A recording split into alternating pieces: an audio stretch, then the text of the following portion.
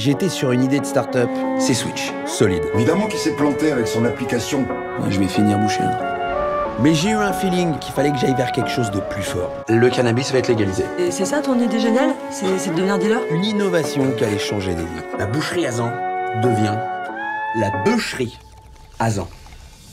Mon père, il était très chaud. Je crois qu'il a gardé ton idée parce que c'est vendu, c'est fini. Ma sœur, elle a cru en moi direct. Et toi, mais t'es toujours chaud pour être con Et mamie, euh, mamie, elle a suivi. Euh, on paiera des lignes EDF, ça marche. Ça va être cadré, légal, propre. 2 millions 5. Ah ouais, quand même, ouais. Gendarmerie nationale. Et voilà, comme ça, main dans la main, Une cata. dans la bonne humeur familiale.